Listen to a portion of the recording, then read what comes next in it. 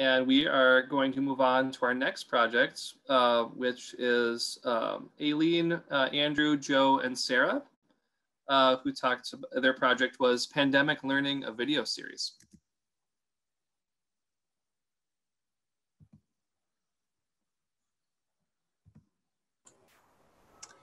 Yeah, thanks, Joel.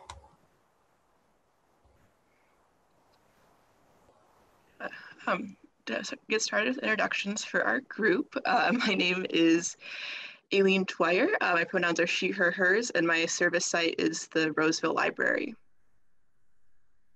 My name is Andrew Everin. My pronouns are he, him, and I uh, serve at Metro East Career Pathways.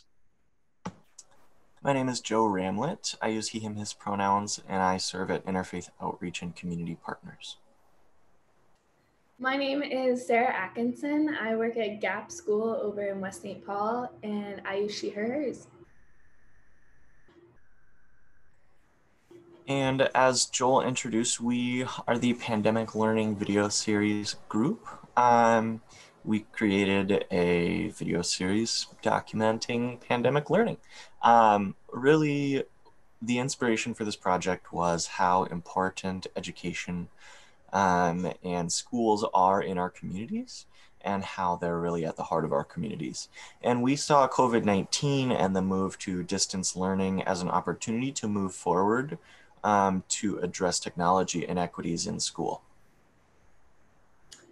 Um, we decided to make a documentary in order to tell this story. Um, we really wanted to include research data as well as personal experiences and really aimed um, to try to interview researchers, administrators, teachers, parents, and students themselves.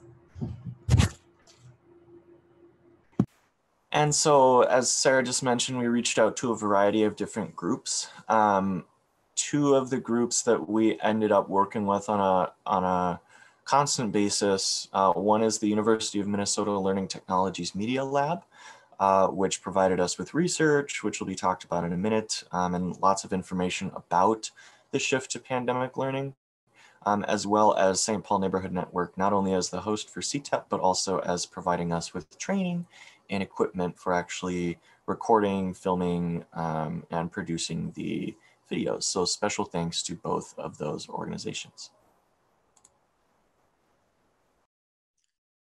So when we were ready to start our interview process, we sent out a ton of emails to a wide variety of potential interviewees. Uh, like Sarah said, we wanted to get the full picture, so we were hoping to interview teachers, administrators, students, parents.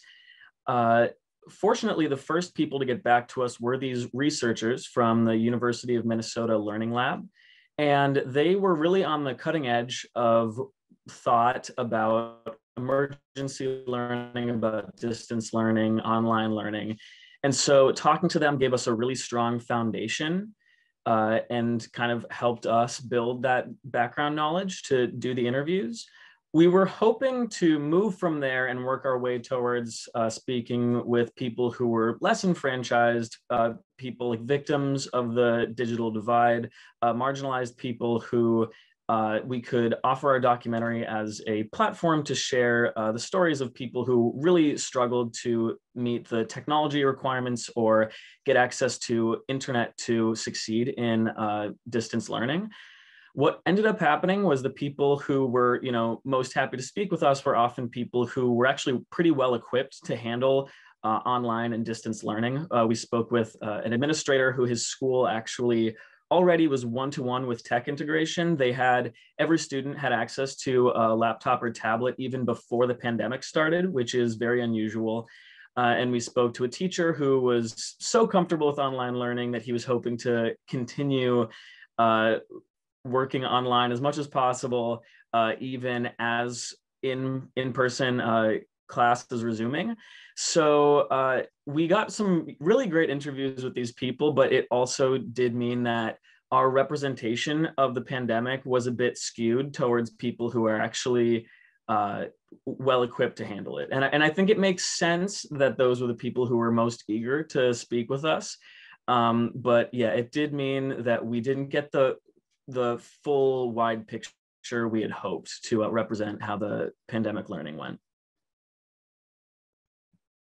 And then yeah, I can speak a little bit about how production went.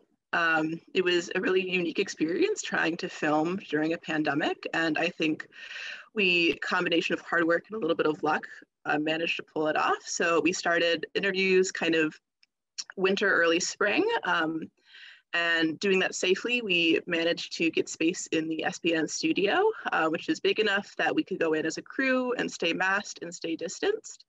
Uh, and film our interviews and let our interviewee kind of be able to sit comfortably and unmasked to give their interview. Um, and so that was, I think I have experience filming interviews before, but that was new for me. Um, and then also new for me was Zoom interviews.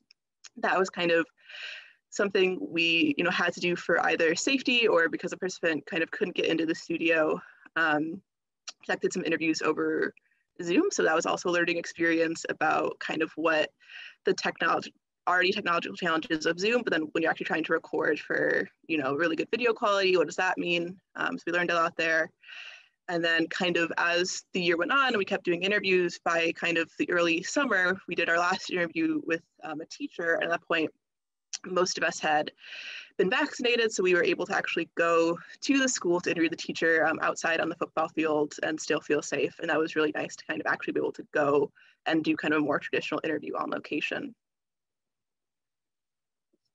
Uh, and then kind of along with the challenges of filming, we also kind of had some challenges in post-production. So our original goal was to create a short documentary um, with our interviews, but kind of what ended up happening is we had really great footage of the interviews, but not much else. Traditionally, you'd be capturing something called B-roll, so kind of supplemental, you know, visually interesting footage to pair with the interviews, and we just didn't have a way to capture that safely uh, with the pandemic going on.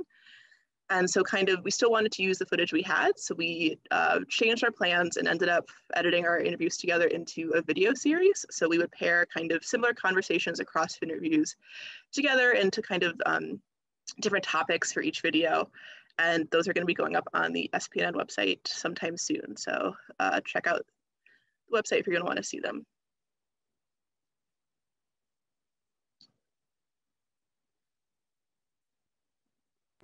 Um, and here is a sneak preview at our website that'll be going up to SPNN. Our website, like Aileen said, will be split into the themes that arose during interviews.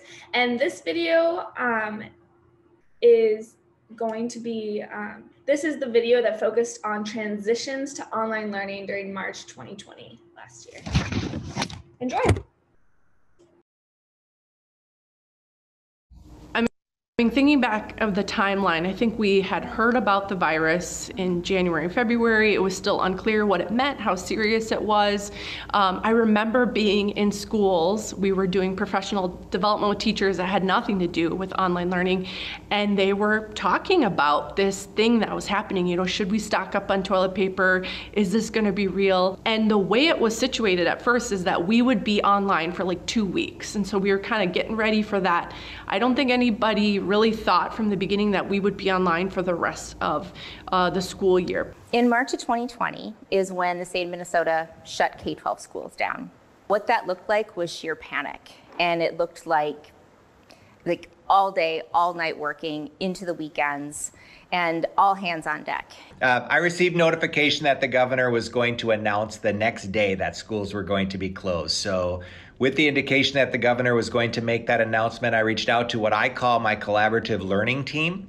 That's about 75 people throughout the district. And what that really means is it's every decision maker in the district. And so I reached out to them, uh, asked them to meet at 7 a.m. on a Sunday morning.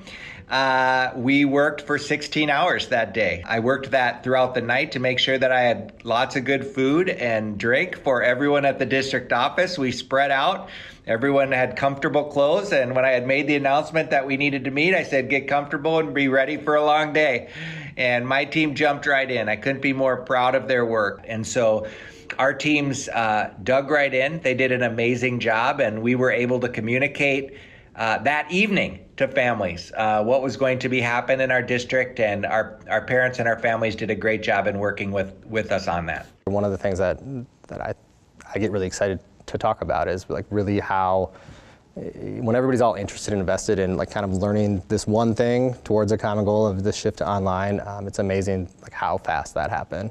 Something like that that would have taken us probably in a regular year, like a three-year rollout to, to do a pilot program, um, to find some other teachers who were interested, uh, to you know, kind of talk a group of people into or see if there was interest in um, doing something like, you know, like Google Classroom across the middle school. Um, that would be a three-year rollout if we were to do something like that in a regular year versus like a two-week, the state is shut down for two weeks, and by next Tuesday, we would like everybody's, you know, here, here's what we did, agreed on as a building uh, to have on our courses online. Um, if, if you need help, here's where to get it. The shift that happened though, that eight workday window, it was insane. So if you, anytime you move a class online, that takes several months. So if you think about that scale, one class, and then you think about the scale what our state did when it shifted K-12 all distance, emergency crisis teaching, that shift was um, almost impossible. So I find it really magical what happened um, in the moment of crisis, what K-12 uh, districts and schools did.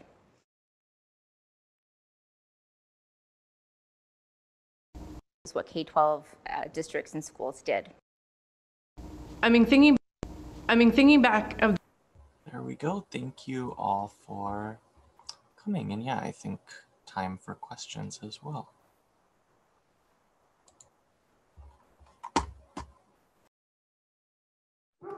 All right. So yeah, anybody can put comments or questions into the chat. I think this this project was a great example of like for anyone that either participated in these projects last year or viewed these. You know, there were so many projects last year that had to completely pivot their own civic engagement projects halfway through, like dramatically different to what they thought their projects were going to be at the beginning, where they were like in-person camps with lots of kids over the summer and like all of a sudden we can't do that. So, I mean, I think this project was a great example of like how much this year our project could accomplish, kind of knowing what we were getting ourselves into a little bit more with the pandemic and really be able to focus a project from the beginning on something um, that they could really kind of carry through through the whole year. Um, yeah, so we've got a question from uh, Virginia. I'd love to know what you all learned during the process.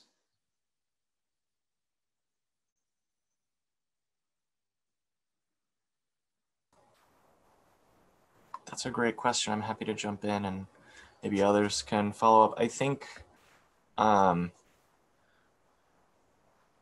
I think the last part where Cassie, one of the researchers in that video, was talking about how kind of magical it was to be able to shift um, to emergency remote teaching online for the entire state and just the magnitude of that work, um, I think really speaks to, again, the inspiration for the project and how important education and schools are in our lives and in our community.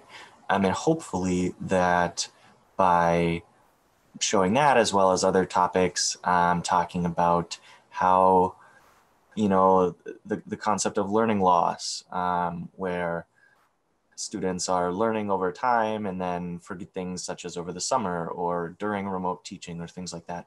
Um, by putting these out on the SPNN website, hopefully we'll be able to really engage not only the educational organizations that we originally reached out to, uh, but community members as well for just reminding everyone how important schools are and really appreciating and, and garnering respect for um, schools and teachers and educational staff, academic technologists, paraprofessionals, um, administrators, because I think we saw last spring for like a month, everyone, teachers were, you know, teachers, nurses, frontline workers, um, everyone was a hero. And I think that we have kind of forgotten that. Um, and so hopefully this will shine a little bit of a light on that. Yeah, and then I'll jump in also something I learned um, in talking with the researchers. They were really clear that there's a difference between online learning and what was happening during the pandemic, which they called emergency remote teaching. and they wanted us to really understand that emergency remote teaching happens in crisis, that this isn't kind of normal online learning, which might exist, you know, already existed um, as an option for a lot of students um, to kind of find online learning that's like really developed and really thought out curriculum and processes and that what was happening kind of all over during the pandemic was not online learning and i hope people don't kind of get those two things confused and that they really were kind of pushing for um, time and acknowledgement that we did kind of live through and work through a crisis and that students and families and teachers um, and everyone kind of involved in this needed you know grace and needed time to process um, and that kind of we really need to understand that this you know we, we got through it kind of extraordinarily but that this was a crisis and that this was really hard for everybody. Uh, yeah like right. uh, oh, sorry, yeah we'll have andrew why don't you give some comments and then we'll uh, we'll move on to the next project after you finish up.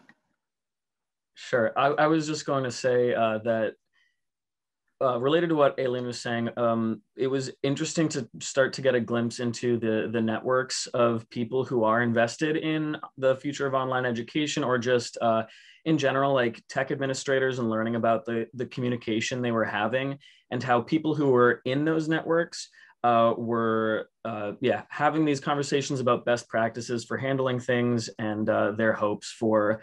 Uh, where this would go during the pandemic, and also their hopes for uh, like uh, one of the interviews was saying, uh, teachers did mobilize quickly to learn new uh, approaches to technology and education uh, due, to COVID. And so it's interesting to become aware of like how that network was working during the pandemic, pandemic and where they hope uh, things could go from there. All right, thank you so much.